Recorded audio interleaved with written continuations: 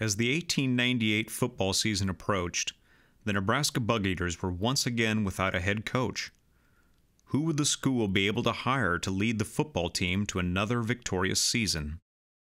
Well, Fielding Yost obviously made, is in the College Football Hall of Fame. He, he, he got there coaching at, at the University of Michigan. I mean, he, he, uh, he was a young guy when he came to Nebraska, had success here. But it's one of those coaches, if you look at it and say, what coaches are in the College Football Hall of Fame that coached at Nebraska? Fielding Yost is one of those guys. He was a very popular coach brought a lot of knowledge and brought a lot of respect. Uh, he was very well known in the sport, and when he came to Nebraska, the perception that people had of the Nebraska football program changed overnight because if it was good enough for Yost, it was good enough for them. Under the direction of Fielding Yost, the Nebraska Bugeaters began their 1898 football season by defeating Hastings College by the amazing score of 76 to 0. And in the following weeks, the Bugeaters easily won their next four games. But soon it was time for Nebraska to face a rematch against their arch rival, Kansas. The Nebraska Bugeaters traveled by train down to Lawrence, Kansas to undertake the mighty KU Jayhawks.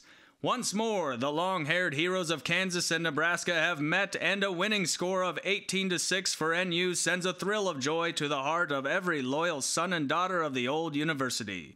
Towards the end of the second half, referee Foltz called the game on account of darkness, although three minutes yet remained. Final score Nebraska 18, Kansas 4.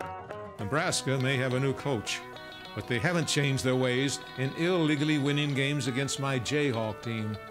The game was not played out in its entirety since the referee called it with three minutes still remaining. Therefore, when the question comes up, whether there was a game or not, in my opinion, there was none played.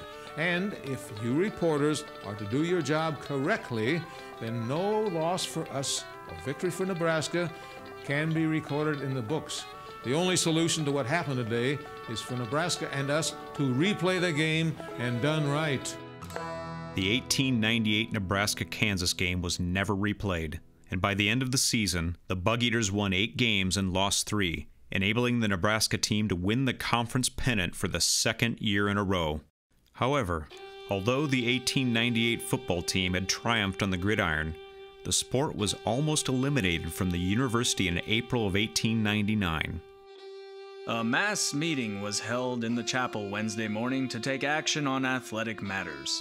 Financial Secretary Max Westerman has advised that athletics be dropped entirely from the university if the remaining debt of $250 cannot be raised at once. If the association cannot pay its past debts, there is no use of incurring new ones. In all, a total of $210 was either collected or pledged, leaving still a deficit of about $40.